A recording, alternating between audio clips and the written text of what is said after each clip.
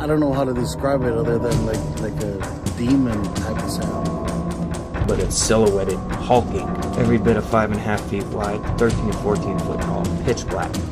The one thing that ran through my mind when I had this encounter was I don't have a big enough gun.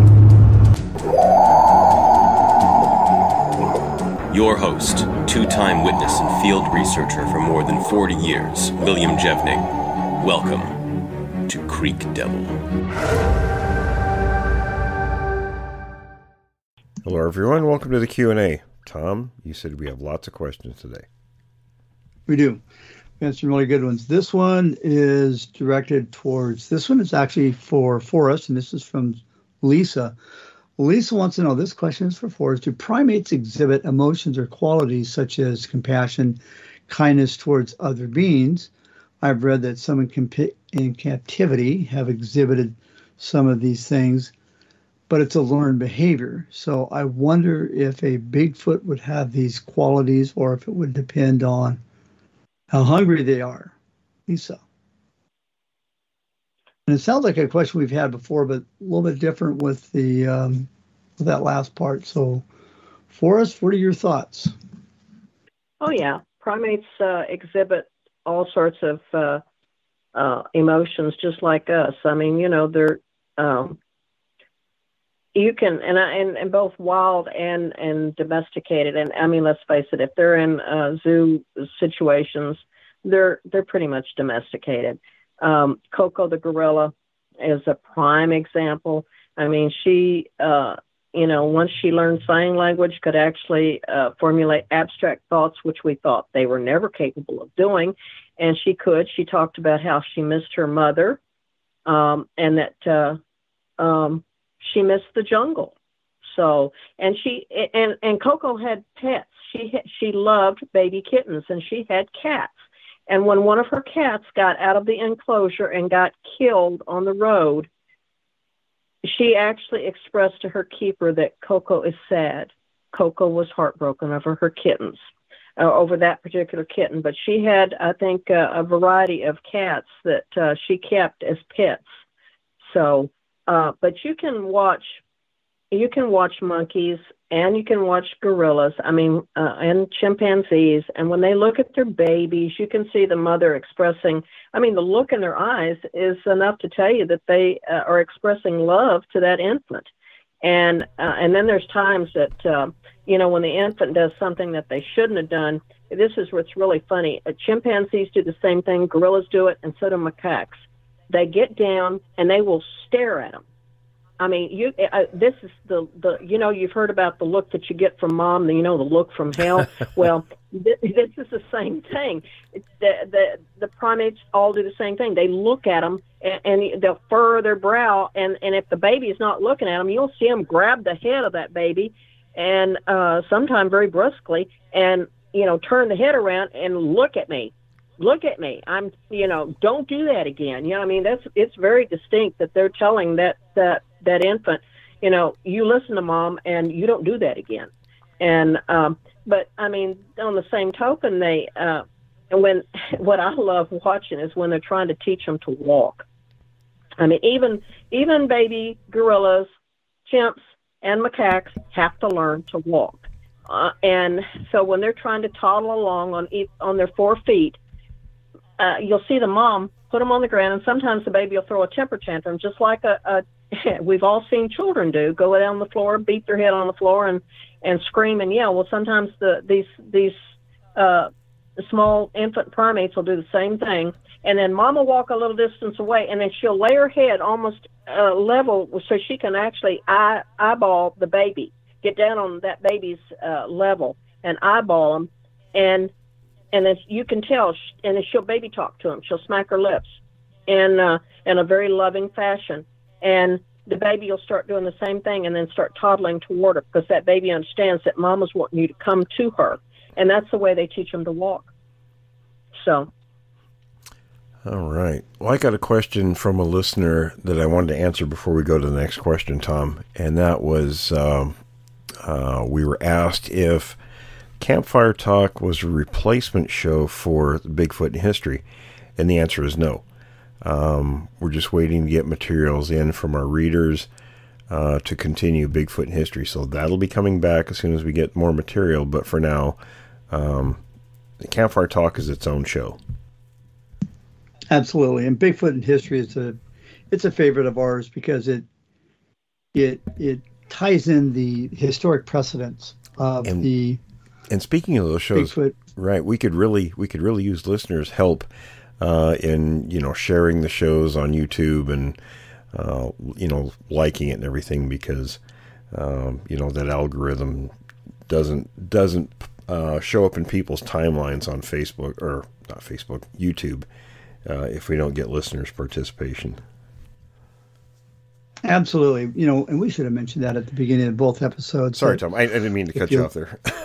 yeah, no, no, no. But really, um, yeah, if you like the show, let us know. Click the like and subscribe, and click the share button. Really helps us out. Feeds the algorithm. We want to feed it. Okay.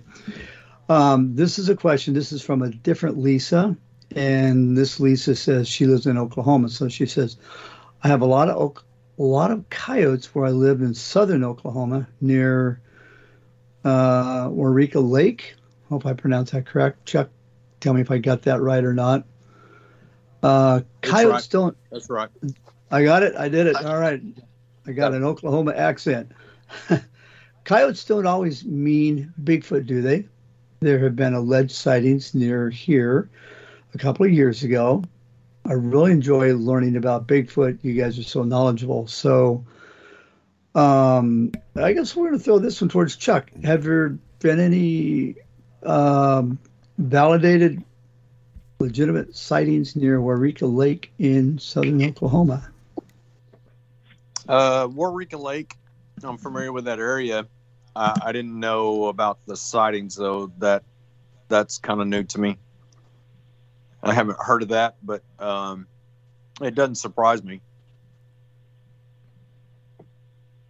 But as far as the coyotes go, um, there's there's coyotes pretty much everywhere around here, and you hear them a lot, you see them a lot. So Going back to the lake for a second, would would that be a place that you would think might be um, hot spot or something that would appeal to Bigfoot? I think it would appeal to Bigfoot. I mean, I it seems like a lot of the places that I go, there's there's always, you know, I live between two rivers, so I'm actually in a pretty good spot. And it seems like to me, just my opinion, I, I don't know if it's a good one or not, but it seems like they they travel the waterways and any anywhere you see lakes or, or creeks or rivers or streams, uh, you're the chance of you actually seeing something is, is going to be a whole lot better than going out in the middle of a pasture somewhere. All right, good deal. We'll take that as a yes or a definite possibility. Okay, well, thanks, Lisa. Um, this one I'm going to throw out towards Will and Brian. He wants to know would ammonia attract a Bigfoot? Because we've talked about using it as a deterrent, but this person wants to know would it attract him? And I wonder if they're thinking it would attract him in a sense that they would be, um, you know, maybe they'd be provoked or aggressive. I'm just I'm speculating. It's a short question. Would ammonia attract a Bigfoot? Yeah, I, I can't. I can't see any qualities that would attract, you know, to a smell like that. It's more repellent than anything. But um, I, the only way it might attract them, like you said, that's a good possibility, is if they felt challenged. And I suppose, uh, you know, they would have to have a stink that was worse than the ammonia for that to happen. But um, you know, yeah, they might. They might be curious to see what else is big and bad, maybe stinkier than them. Okay. All right. So this is from a gentleman named Surge Master, and uh, he wants to know, hey guys, when the discussion of the Albert Ostman incident is discussed, um, we dismiss it as a hoax. One of the reasons being is that you say that if it truly happened, uh, why has it not been replicated at some point? Well, since this is the argument, how would you explain the tale of, and there's Muckaluk? Let's see if I can. Mullicat Harry. Okay. Molokai Carey. Okay, an Indian who in Vancouver in 28 disappeared. All right, so you know the story. Um, what's what? Are, what are your thoughts on that? Okay, well, I, I'm not going to talk about that one, but since we're he's talking about Ostman, the main theme of the or main thrust of the argument wasn't that it wasn't repeated. That was a supporting argument. The main argument was that Rene Dahinden knew Ostman for many, many, many years, and they talked every time they would talk. They would talk about his encounter, and over the span of at least 20 years, Ostman kept changing the fundamental details of the story often. It wasn't just one change or two changes, he changed it throughout that time period. So Renee dismissed it as a hoax because there were too many big changes to his story. Had nothing to do with anything else. It was that was the main feature of why it was felt it was a hoax, and it wasn't just him. It was many of the other prominent people in the subject back in those days. Well, and that, I mean, that's that holds true for any kind of story, whether it's Bigfoot or anything. When the story changes and the details change, you really got to ask yourself, why is that happening? Yeah, I mean, some of the details can change. That's that's understandable if you you know because you're you're jogging your memory maybe in some of the the details that weren't maybe as maybe you didn't think about as much at one point. Let's say, um, you know, until until somebody asked you very pointed questions about, it, then you, you had to think about it. But it was the fundamental details that would change. Okay, so like the direction of the story and that sort of Right, thing. right. Okay. Oh, that's interesting. I um, I think you'd mentioned that. I kind of forgot that. So that that's uh, very important. It's a very key point. Um, okay. So the next question, I like this one. This is from Amy. Amy says, "Hello, everyone. Do you think that Teddy Roosevelt? Do you think Teddy Roosevelt created the national park system to protect the creatures? Could it be could the Bauman story really be his because Bauman's first name was never revealed and the level of detail seems to be far beyond your average campfire tale? This one is for Forrest. Okay, so this is a two part question. So this first part is for all of us. Well, what do you think? Well, no. The Park Service, okay. Teddy Roosevelt used to go out west because he had poor health and he was basically trying to man up, you know, become tougher. Um, so he would go out west and on one of these times, and he would write books, you know, about the stories he would collect from people, and it was all kinds of stories.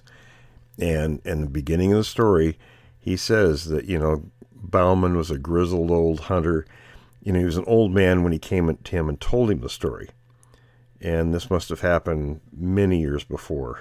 Um, you know, he told Roosevelt the story. So it was just, you know, Roosevelt passed it off as a as a ghost or a goblin story. He didn't think it was anything else. In fact, I think it only occupies, you know, two or three pages in his book Wilderness Hunter. So, you know, Roosevelt wasn't a Bigfoot believer. We'll put it that way. He just wasn't into all that. He was just collecting lots of different stories from frontiers people. Oh, that's interesting. Well, what are your thoughts, Will? Do you think this guy, do you think it was a Bigfoot? Do you think it was a legitimate story? Bauman, yeah, I think it was legit. Yeah, it has all the earmarks of It, a it does. big, yeah, it really does. And you know, Roosevelt saw all the wildlife, so I'm sure that's the reason he created the Park Service. Not just the wildlife, but you know, the real beauty of the western part of the country. And we definitely want to thank him for that.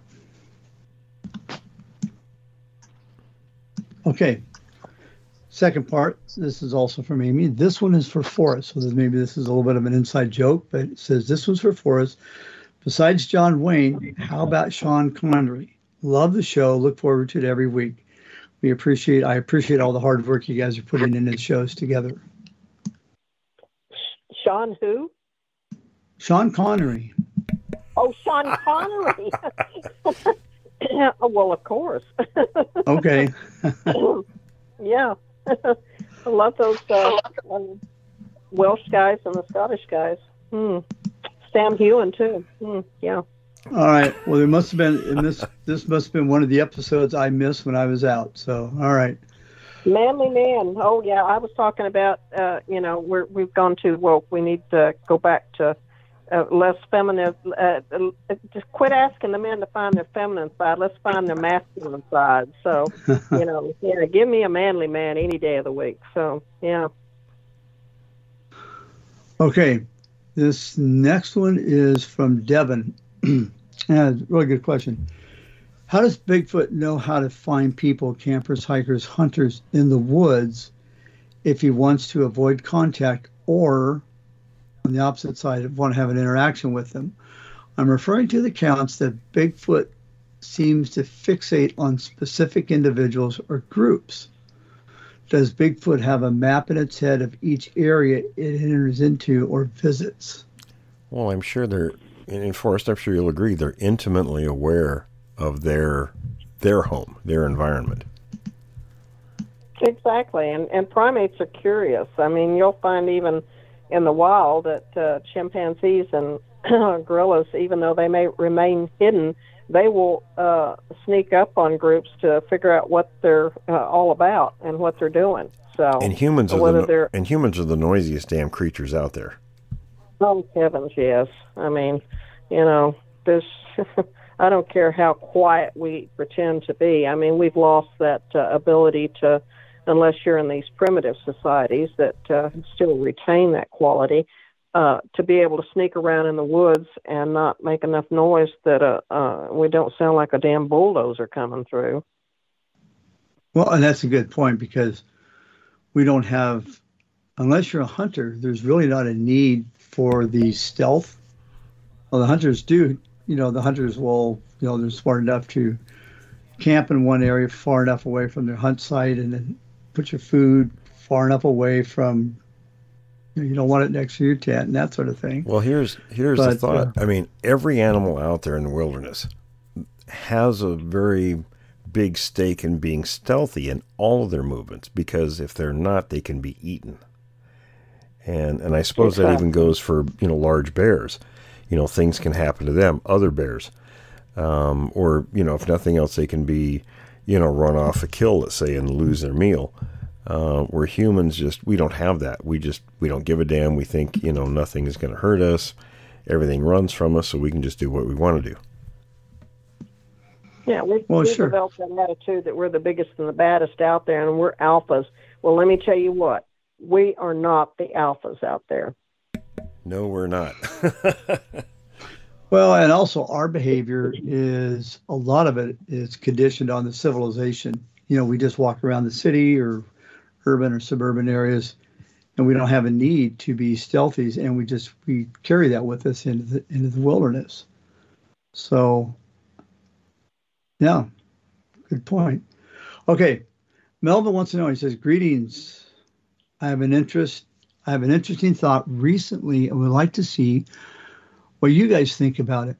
Australia is a very unique continent, famous for having animal life that is found only on that continent, largely due to it being isolated. So, how did the Yowie, who shares so many traits with Sasquatch, come to live there? My thought is that these creatures must be extremely old, far older than humans, uh, when their origin um, being before the separation of Pangea. How else would they come there what are you guys thought? And I think that's an interesting Well, question. okay, you got to look back in geologic history though and see when Pangea broke up. That that predates the dinosaurs, so uh, it's not likely there was these things around then. But lower sea levels would certainly have opened up, you know, migration routes that don't exist now. Well, all of Indonesia, Melanesia, and all used to be actually connected to Australia. And even um, we also have to remember that Antarctica used to be a lush and tropical uh, hmm uh, continent once upon a time. And all of these continents were actually uh, connected. And uh, during the Ice Age, especially, especially uh, when the sea levels were lower, just like you, uh, I mean, the, there was a lot more land exposure, just like what you had said. And um, there was you know, we've had multiple uh, ice ages. It's not just one. So uh, these these uh, animals, uh, you know, traversed. I mean, you even got reports in England, and a lot of people don't realize that once upon a time, England was actually connected um, uh, to a larger portion of uh, Europe, and uh, all of those island countries uh, were were not were not I- islands. So. Uh, so we we have to look back in the geological time and you know understand that you know things but the earth is in constant motion so uh, I mean it's even changing now under our feet so you know Yeah, I just looked it a up. million years from now it won't even look like what it looks like now I, I just looked up Pangea. Uh, there probably were dinosaurs, at least some, at that time period. Pangea formed between 300 and 335 million years ago and began to break apart about 200 million years ago. So, um, yeah, the, the primates didn't exist yet then. you know, So let me- still little, little mammals crawling around in holes All right, so I'm going to back up a little bit here. I think the, the real question that he, that's being asked here, and I think it's a good one, is you have a lot of unique animal life in Australia that you don't have anywhere else in the world. How is it that we have this one particular creature that is virtually identical to what we have here in North America? And we have that, and it's just the one example. What was it, Forrest? I think I read an article, and they talked about primates, where I, I believe it was around fifty thousand years ago. They called the article in the article. They talked about Earth being a true planet of the apes because primates were everywhere on the planet at that time, and they don't even know Yeah. how many different species there were. So Well, it's just it's just like the early Homo species. I mean, we're finding out uh, now. I mean, like Berger's, uh, uh, the primates. I mean, primates. The Homo species, the Homo neanderthalis. No, I can't even say it. Uh, naledi, Homo naledi, and then the Homo saledi that he has discovered. Um, and I, I, the Homo saledi um, and I'm probably not pronouncing that exactly correctly, but his nine year old son actually found that one. And uh, they've only found two individuals of that species. I mean, at that, and that was what, you know, the datings that they got on that Homo naledi uh, group in that cave uh, was actually, uh, they were very archaic, primitive form of Homo, but they were actually, they got a date of 500,000 BP when they were thinking it was going to be several million years BP. They were actually still existing while the other uh, Homo neanderthalensis and uh, Homo sapiens, sapiens, um, and you know Cro-Magnon man, and all those guys were roaming around, and they're they're finding uh, sites in Laos and uh, Cambodia and uh, all in Melanesia now, and uh, the Homo floresiensis, the the hobbits, and um, you know everybody's going, oh, how'd they get there? Well, because all of this land was all connected at one point in time, Right, yeah, when- and they just walked. They walked there, And that's the thing people don't understand when you know during the ice ages, not just one ice age, there were there were multiple ice ages. You know, when all that ice was locked up, you're talking about, um, you know, ice sheets that were a mile thick that you know covered North America. Well, that water had to go somewhere from the ocean, so it you know sea levels dropped uh, significantly and created all these land areas. So they could have crossed easily during those times. Oh yeah, and and it's like uh, the Neanderthals. I mean, uh, they they have a lot of cave sites that they found in France and uh, Spain that uh, are just rich with uh, fossils there. But you know, let's face it, if there was any excavations to be done out there, what used to be plains out there, uh, where the instead of the buffalo roaming, it was mammoths and mastodons roaming out there, and all this mega uh, fauna uh, of the Ice Age uh, that they were roaming out there on these plains that were off the coast, what is now the coastal uh, areas of uh, Spain and France and all of this Western Europe there. They were hunting all out there, and they probably had tons of settlements out there. But we'll never see them because they're all underwater now. Right. So And it's even tougher on You know. land today because those big ice sheets, you know, they're grinders. You know, they, they would Oh, yeah. turn rock into rubble because with their even slow movement would do that. So, you know, any Yeah. kind of biological stuff that was there would be pulverized. Yeah, yeah. And if you want to see that happening, it's still happening in uh, northern Canada and Alaska. Go take a trip to uh, on a uh, cruise ship to Alaska, and you can see that happening on a day-to-day basis up there. I mean, I lived up there for 17 years, and the glacial silt and everything that you see in the rivers is just amazing. And the the rivers uh, and such are they have so many minerals that have been washed down out of the mountains that the the the lakes and the uh, the rivers are literally a t- beautiful turquoise uh, color, and um, uh, the Connect River especially, and uh, uh, it's just uh, you know it's a day to day basis up there, and that's what uh, you would have seen in the uh, Ice Age times, and uh, you know it's it's hard to imagine. You look at it now, it's that there there should be uh, mammoths still rolling roaming the. Of course, some there's some people in Alaska that say that there are in some of the valleys, and uh, what is that valley that uh, the the the headless valley? What's the? I'm trying to Valley think of the. Headless Men or something like that.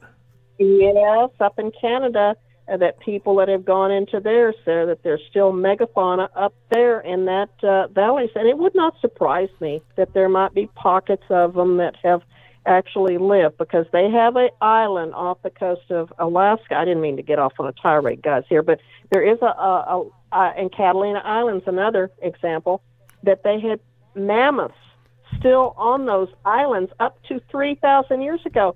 That is an absolute blink in geological You time. know, the Sasquatch would have fit very well with the megafauna. It's kind of megafauna itself, really. Well, yeah, and you know, there's a lot of people that that think that Gigantopithecus, uh, you know, they've never really decided was it a quadrupedal animal or was it a bipedal. I mean, I'm sure it's pretty, sure it was a quadrupedal animal for sure. That probably was bipedal at, at uh, you know certain times, uh, just like most primates are. But uh, uh, you know, and and I'm not going to say it is not the uh, predecessor to uh, Bigfoot because I don't know. Uh, and if the Chinese had quit grinding up their bones for uh, whatever purpose that they use them for, uh, we would have a lot more uh, information on uh, Gigantopithecus, Blacki. But uh, you know, we have to. You know, they're now finding actual sites of, uh, of fossil remains of them. So, at some point in time, maybe we can actually have a. Um, and, and they existed during the uh, the, the ice age, and uh, and you know they think that probably what happened once the climate started changing. Guess what, guys? it was you know No- climate no more changes on the earth. they were being forced to eat uh, fruit because they saw a change in their dentition status. Uh, and uh, they think that these animals probably were more like the panda and ate things like bamboo and such. And um, because they got these huge grinding teeth, and obvious, you know, with the the sagittal crest on them, they they had this huge, massive jaws too for grinding. So they probably more had a, a, a diet of something like the panda with bamboo. And then when when the climate started changing, they started eating more fruit, and the fruit was actually damaging their dentition. So, and they've seen this in the, the fossil records. So they think that that might have brought around uh, about the demise of the Gigantopithecus blacki. Okay, Tom, what do we get next? Okay, so I've got one here. This is we got a couple more questions. Um, Jason wants to know how come it would be illegal to hunt or shoot Bigfoot if it's just another animal. And I think was it Ohio? Um, somebody had somebody legalized. Oh no, Chuck. Uh, Chuck a can tell us that was in Oklahoma. Okay, Yeah. what's the deal that with was that, Chuck? Is this is that still going on, or what? What are the how are they handling that? Well, when they first come out with it, uh, it was they wanted one dead, and it was a two million dollar bounty. And um, I guess the state legislature decided, you know what, we're going to have too many accidents of people going out in the woods looking for these things, and somebody's going to get shot and killed. So they uh, they actually changed it that you they want one captured, and the bounty on that right now is like three million dollars uh, for a bounty on one that's captured. But you know, you guys know, and I know that they're they're not going to capture one. That's that's going to be pretty hard to do. And you guys know about the the ordinance of Skamania County, Washington, right? The one that was back, made back in 1969. And that yes, illegal. Oh, yeah. and that's where it made it a felony to kill a Bigfoot. Well, um, I, I was I used to go nose around at the Skamania County Pioneer newspaper for old articles and things. And back when I was looking, they actually had them just in a closet on the floor, so you had to kind of go through and dig through them and and see what you could find. But they were nice, you know, used to let me go through there. But I met Roy Craft, and Roy Craft, uh, for anybody that's seen that ordinance, a copy of it, he's his signatures on it and I think he was kind of the driving force with the county, uh, Skamania County commissioners when they enacted that. And it was had nothing to do with protecting Bigfoot whatsoever. They had a guy who was kind of a crackpot, and he would go out in clear cut areas and sit on a stump, and and Sasquatches would just appear out there to him. You know, sometimes by the dozen. And he was gonna. He let it very openly known that he was gonna go out and shoot one and he had had some people there convinced to go with him and do it. And you know, I've been shot at hunting, so out in the open by my truck in the sun. So I, I know that people don't pay attention to what they're shooting at. They shoot at something that's shaped like a man when they're supposed to be shooting something that's shaped like a deer. Uh, and that's what they thought. They thought, okay, this is going to cause a bunch of accidents. So they enacted that and kind of nipped the whole thing in the bud. Yeah, and it, there have been incidents. There was one where somebody shot a gentleman in Idaho, I think it was a couple years ago. And when they caught the perpetrator, they said, Why did you shoot him? He said, Oh, it was a Bigfoot. Why did you think it's a Bigfoot? Well, he wasn't wearing a vest. and Chuck, I'm sure you you, Okay. probably, you you can just see that happening. Oh yeah, absolutely. And and the guy that that started all that was one of the brothers of uh, the siege of Honeby that took place. Oh boy. He actually he actually became a member of the legislature and and they voted him in and Was that Mike or next the other thing you know he's I I'm not sure. I can't I can't remember his first name, but sure as sure as all get out as soon as he got in there, he's the one that put the bounty on him. oh boy. That could that could go sideways in a lot of directions. Okay, we have two questions left, so we'll run through these real quick. Kareem, Kareem wants to know, as we know, Bigfoot is a good swimmer and can also dive underwater. Do you think Bigfoot hunts fish underwater? And if so, have there been any witnesses on this behavior? What do you guys think? Well, they I'm going to say yes. Uh, I don't know about the fish, uh, but I know that they have uh, recorded uh, uh, people telling stories about them crossing the Columbia uh, uh, River down there all the time, down in the gorge down Oh, there. I know I know the place where it is, where it happens. Is that seven? Is that the Dalles there? No, No. I, I'm not going to say where it is because people will be all over the oh, place. okay. Okay. but I'll, I can tell you privately where it is. But I know the spot. oh, okay. Well, and Will, we have the story of the guys who were in a canoe where the Bigfoot dove into the water and and then flipped the canoe over Oh on them. yeah, Chuck. What do you think? What have you heard about that? Was that was that in Ohio? where That took place. Uh, you know, I don't recall offhand. There was I the the one I'm thinking of was in New Mexico where or the one TW told us where the guys were out fishing at night and and the thing went out in the, in the lake and flipped their boat over. But I'm not sure if that's the I same think there story. was a similar.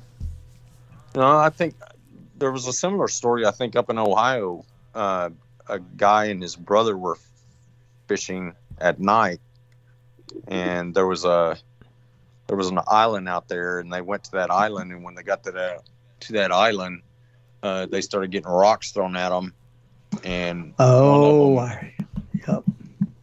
yeah, and one of them, I think one of them actually got hit or something by by one of them or something, but they barely got it out of there, and it it tore them up. I mean, they they were they were having that had issues with going out and and everything else because of it. It, it was a pretty traumatic experience, from what I understand. That's that's the story that I was told. That's Um, interesting. It's but it's similar kind of a familiar with the story, isn't it? It is. But as far as the catching fish underwater, I, I would surmise that why would they not?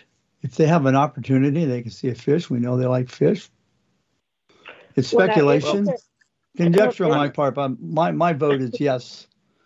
Yep, they Oh, grab yeah. the fish. Go ahead, Forrest. You know, here Well, there, there's a there's a video that somebody took in Louisiana, uh, in a bayou somewhere, and a um, I think it was Louisiana or maybe it was Arkansas, but it was in a bayou, and this guy was just floating along in a canoe, and I mean it's it's uh, uh, you know whether you want to believe it's a Bigfoot or not, but it looks like a Bigfoot standing there in the water, and it didn't even see him floating along, and he was filming this thing. He heard the noise, the splashing in the water, and this is it, it's actually grabbing its stuff in the water and whether it's trying to catch frogs or fish i don't know. I mean it didn't uh, stand up and identify this is what i'm hunting for you know. But the gentleman did film all this and it's quite believable. It looks like a real bigfoot in the water you know and it looks like it's either hunting for fish or hunting for frogs Last question, Tom. well, you know there's Oh, go ahead, Chuck. I'm sorry. there, there's all kinds of stories here in Oklahoma where they, you know, we noodle catfish around here a lot, and there's there's reports of them seeing doing the same thing, noodling catfish out of, you know, out of the riverbanks and stuff. Well, it's like the site we have in uh, Arizona. That's there's tons of catfish in that little river uh, that Jason finds all these tracks by. So I'm sure that's what they're doing there. y'all know what noodling is don't you Yep. Oh yeah. well, we should- somebody should explain that real briefly to our listening audience who Chuck. isn't We'll, familiar. we'll let Chuck that. do that. yeah Well, I've, I've done it. I've done it a few times. Uh, it's where you go down rivers and streams, and you find uh, there's certain parts of the year, times of the year, when um, the catfish actually dig a hole in the side of the bank, and that's that's where they procreate or whatever. That's where they do their thing. Anyway, uh, you go down through there, these rivers and creeks, and you and you uh, you use your hands and you uh, take your hand. Most of the time, you wear a glove, and you go down there and you grab a hold of the the fish's mouth and put put half your hand in his mouth and pull him out of the hole. And uh, that's that's what what they do around here. I like I said, I've done it, and biggest fish I ever caught was 45 pounds. It, he was a monster. Good lord. Yeah, that was my next question. Was some of these fish are really big? They're pretty huge. They are. Okay, Tom. We got time for Okay. one more question. All right, so this one is also from Kareem, and this is an interesting question. Does Bigfoot wear the hides of its victims to pretend it's something else like a wolf hide? That may be why people sometimes think it's a dog man. I've asked this before, and Will said Mr. Black will talk about it. And then a comment, very nice comment, Tom. I hope you're better. Yep, I'm doing good. Unfortunately, they're giving me treatment, and it's working, so I'm going to be around for a while. But going going on the first part of that question, it is kind of interesting. Do you think they wear the hides of their victims? Well, I don't think it's a matter of thinking. You have to go on what witnesses say, and I've never talked to anyone that said that that's what they thought. What about you? What yeah, about in you, other Chuck? words, would they wear wolf skins and that sort of thing? Yeah. What about you, Chuck? Have you heard any of that? I I have not, and you know I I don't know what to think about that. Actually, it's that's just a something that I've never seen or I- I've heard some stuff like that, and I've seen some pictures, but I I can't tell one way or the other what I'm actually looking at when I see something like that. Yeah. So was that anything that we talked about? Mr. Black was going to comment on. Uh, or- yeah, he hasn't yet, but um, you know, I, my thinking is, well, you're already hair covered. Humans wore hides because we're not hair covered, and they probably use that as protection. Um, you know, and as far as fooling other animals, they're gonna they're gonna catch the creature's scent. You know, so the visual fooling isn't going to do much um, because the scent will give them away. All right. Well, any final thoughts or comments, guys? We're out of time. Well, I want to thank everybody for the questions. These are excellent questions. You guys are what keep the topic alive. People have questions and send them our way. Questions at creekdevil.com. There are no bad questions. So we love to hear from you. Questions at creekdevil.com. And same thing with encounters. If you've had an encounter, we'd love to hear from you and just shoot us an email at the same address. Chuck, Forrest, anything final? No, just good questions as usual. Uh, same here. All right. Well, thanks for the questions, everyone. And, uh, you know, our answers aren't always perfect, but uh, we do the best we can. So thanks for stopping by, folks. Thanks for listening to this episode of Creek Devil. If you or anyone you know has had an encounter with these creatures, please contact us at williamjevning at yahoo.com. That's William, J E V N I N G, at yahoo.com. All communication is confidential. Join us for another program next week. And until then, keep your eyes open out there.